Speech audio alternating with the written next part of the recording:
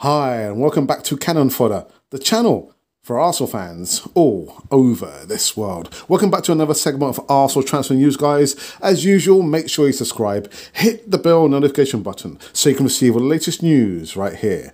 Now, apparently, Arsenal have reached a full agreement to sign Sao Paulo's winger Marquinhos. I do apologise for the pronunciation. According to reports, the Gunners have agreed a three million deal with the Brazilian club earlier this week after the winger turned down multiple contract renewal offers. That sounds interesting.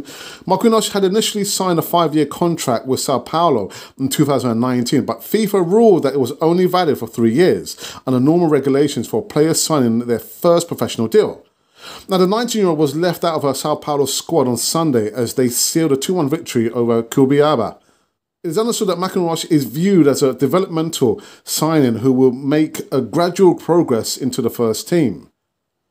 Marquinhos made his first team debut against Flamengo last uh, July and has gone on to score four goals and register three assists in 40 senior appearances for Sao Paulo. He also played three times for Brazil's under 17s team. So a player not for now, for for the future. Where are we going with this?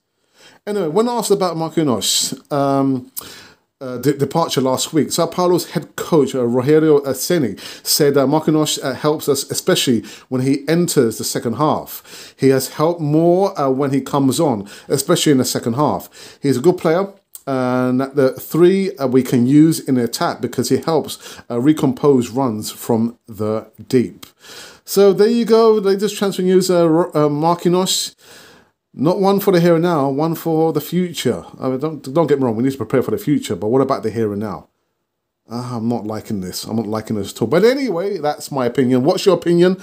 Put your comments in the box below. We go onwards and upwards. And you have been listening to Cannon Fodder, the channel for Arsenal fans all over this world.